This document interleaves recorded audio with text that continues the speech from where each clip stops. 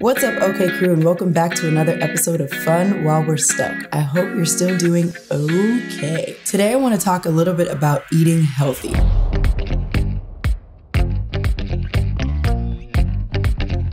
I'm sure you've heard about eating healthy for most of your life, but it's so important and I think it's worth talking about. If I'm being honest, I love eating. It's probably one of my favorite things to do. While we have a lot of time on our hands right now, let's think about choosing healthier foods to eat when hunger strikes. Something to remember in choosing healthier foods is to avoid sweets. As much as you can, try to avoid your candies. A great substitute for candy fruits. Fruits have their own natural sugars and they're healthier. Think about incorporating healthy fats into your diet.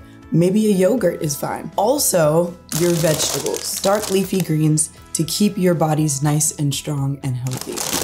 Drink lots and lots of water. You can even take this time to look up and Google some recipes. Instead of ordering delivery, you can always try to strengthen your cooking skills. All right, okay crew, thank you so much for watching this video. I hope you enjoyed it. Definitely give it a thumbs up and subscribe to our channel. And please check out another one of our Friends for Friends short films. This particular video is on lean and I will see you in the next video.